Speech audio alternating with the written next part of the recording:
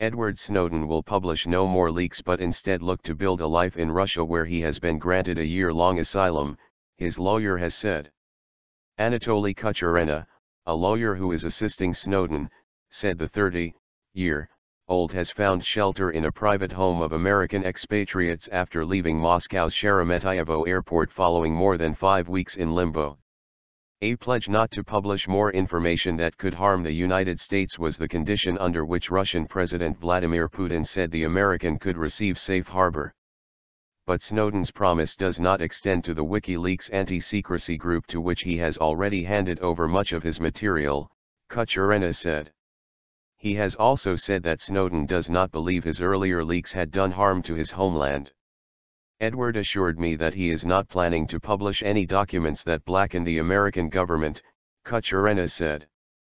But before that he said, when he was in Hong Kong he gave a part of that material to journalists, so that material, of course, he can't take back.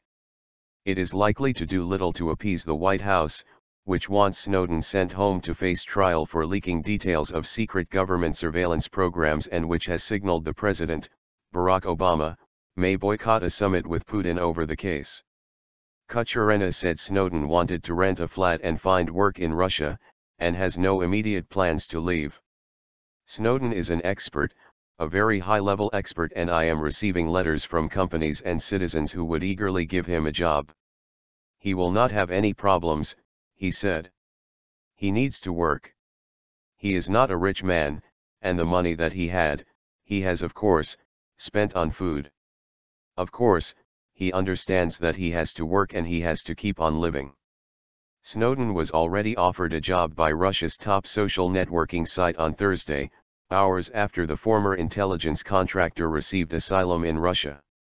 Moscow has refused Washington's repeated requests to hand Snowden over to face trial on espionage charges after he leaked details of secret U.S. surveillance programs involving phone and internet data.